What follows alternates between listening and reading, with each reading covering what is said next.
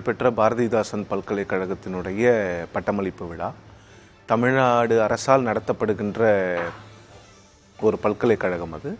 அந்த பல்கலைக்கழகத்தினுடைய பட்டமளிப்பு விழாவுக்கு பிரதமர் வருகிறார். இன்னொன்று கிட்டத்தட்ட ஒரு இருபதாயிரம் கோடிக்கான பல்வேறு நலத்திட்டங்களை வந்து நாட்டுக்கு அர்ப்பணிப்பு மற்றும் தொடங்கி வைக்கிறார். இது ரெண்டு.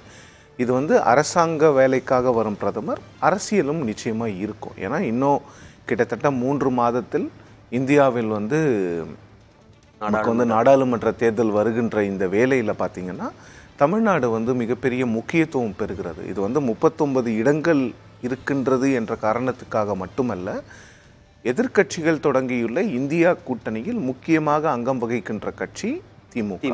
ஏனென்றால் திமுக தமிழ்நாட்டில் ஆட்சியில் இருக்கிறது. இன்னொன்று வந்து இந்த எதிர்க்கட்சிகளை எல்லாம் ஒருங்கிணைக்கக்கூடிய வேலைகளில் திமுகவினுடைய தலைவரும் தமிழ்நாடு முதலமைச்சருமான திரு. மு. க. ஸ்டாலின் அவர்கள் கடந்த ஒன்றரை வருடங்களாக ஈடுபட்டு கொண்டிருக்கிறார்.